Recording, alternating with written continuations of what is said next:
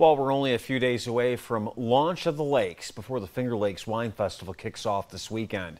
WENY's Alexandra Dern spoke to the senior manager of special events at WGI about what people can expect to see this year.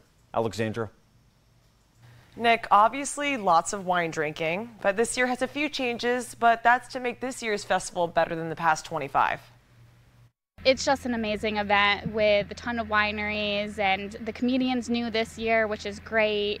And i mean we're just bringing in a whole bunch of new wineries which is even better mackenzie peterson the senior manager of special events is running the wine festival this year on friday toga wearing wine lovers will have a chance to kick off the weekend with launch of the lakes and a fireworks show during the weekend people will have a chance to drink wines and brews watch live ice carving, and get a chance to laugh with the event's newest addition, a comedian.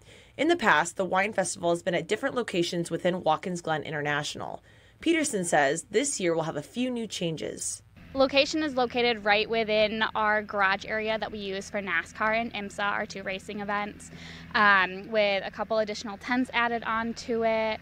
We have, again, that comedian coming, which is going to be great. Peterson wanted to make the 26th year one to remember and to show off the beauty of the Finger Lakes. The Finger Lakes is huge on wineries, distilleries, and breweries, and this is just one great place to bring them all here and to enjoy the, the area and have people come here who are out of town who might not know the area itself and just draw a name to the Finger Lakes.